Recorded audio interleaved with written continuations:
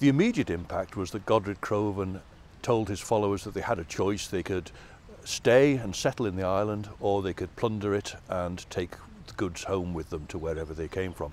They in fact mostly chose to take stuff away from them so they plundered the island and the followers probably from the Sudreys who followed Godred Crovan they were allotted land in the south of the island presumably based around the strongholds of Castle Rushen.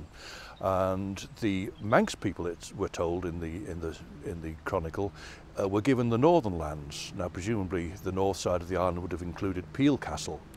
Uh, but nevertheless uh, Godred Crovan was able to go on and take a, a, a war fleet to Dublin and sack Dublin and make Dublin part of, the, of his kingdom uh, just in the following year. So there must have been quite a considerable body of people who stayed with Godred Crovan and were willing to follow him into further adventures.